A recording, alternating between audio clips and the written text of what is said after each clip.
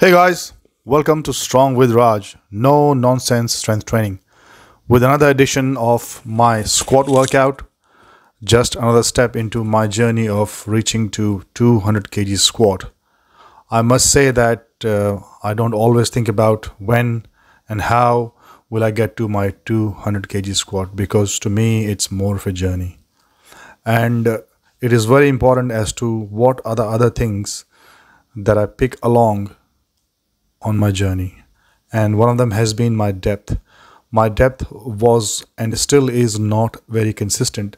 And I was, as when I was editing this video, doing um, uh, the edition, edition, editing of this video, sorry, I did realize that uh, my squat depth in the first warm up sets is not there. And I know this very well. It just feels that uh, it takes a fair bit of warm up for me to start hitting my depth.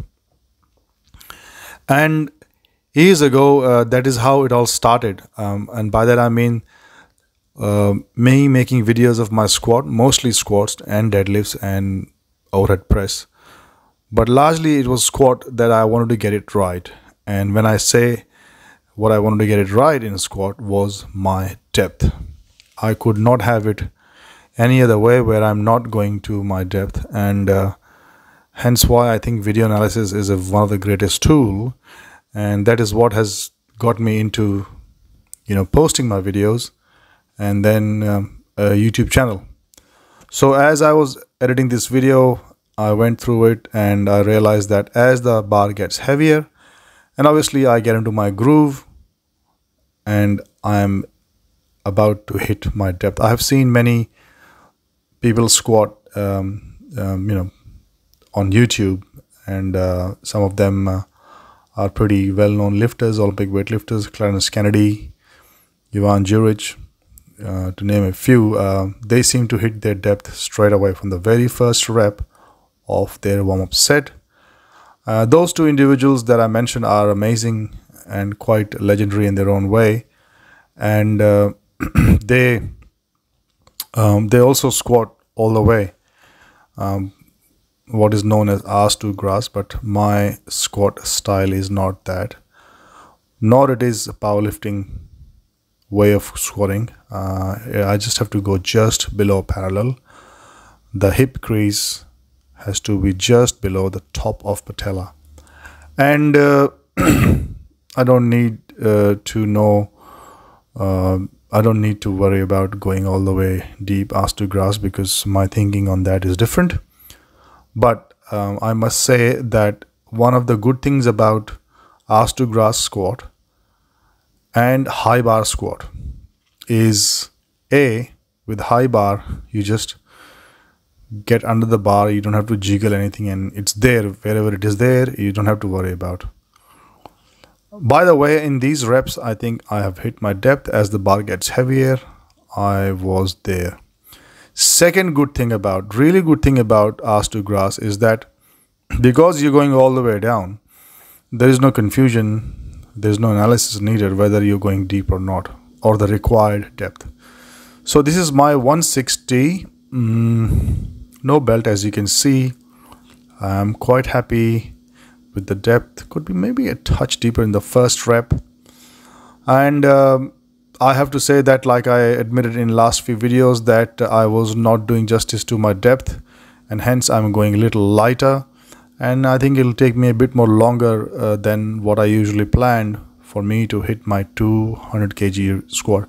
It might not happen this year but um, uh, in next year 2025 it won't be too much into the year that it'll take me to get to 200 kg squat. And when i say that uh, guys i mean uh, doing double or triple not just a single. As you know um, powerlifting style is not my style just by doing 1 rm. Uh, and then um, to manage my sacroiliac joint i've started doing romanian deadlift rather than conventional deadlift and I'm really enjoying it. Uh, looking at this video once again, when I was editing, I thought maybe it's a, not a good idea for me to wear my squat shoes because it raises my heel and the bar has to travel a lot down.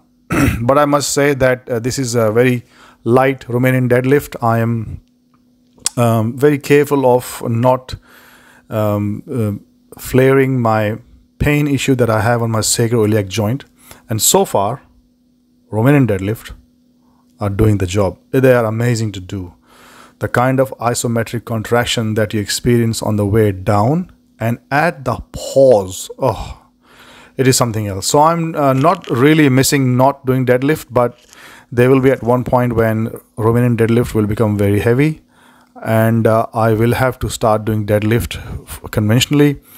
But I'm not going to rush because I don't want to um, awaken the pain demon that comes from my SI joint issue.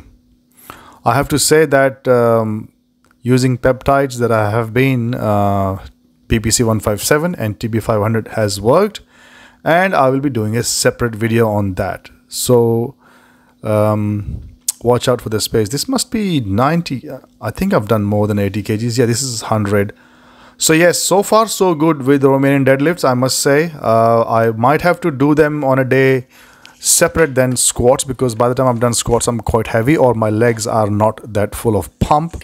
So yes, overall, um, squats I am going light at 140, 150 kgs is what my thing is uh, to really get my form correct, especially my depth and uh, accumulate a lot of volume in that rep, in that weight range 130 to 140 150 and once i get that down pat then i'll start you know adding weight i don't think so i'll be it'll take me too much of a time once i get my 160s to 170s to hit my 200 kg i'm that much sure as you know i have done these numbers in past i have done 200 kg in the past but in last year and a half hasn't been that good smooth sailing and I want to get back to my 200 kg. So that's just a quick wrap of what's been happening guys. I'm uh, really uh, keen to share with you my journey, the ups and downs. Uh, but so far uh, my pain is good. It's not coming back. I am uh, addressing the points of performance that is specifically the depth in the squat and it gives me a lot of pleasure that I'm improving myself and I'm not uh, ignoring my shortcomings. It can happen very easily when you're doing something that you will just do that and uh, think that you're doing it right, but I wasn't, and I'm just fixing those things. But if you are enjoying my videos, my journey to 200 kg squat, and otherwise other videos like my press video, 100 uh, my journey to 100 kg press, bench press, then please give me a like, subscribe, and please support my channel. Thank you guys. I will see you next time.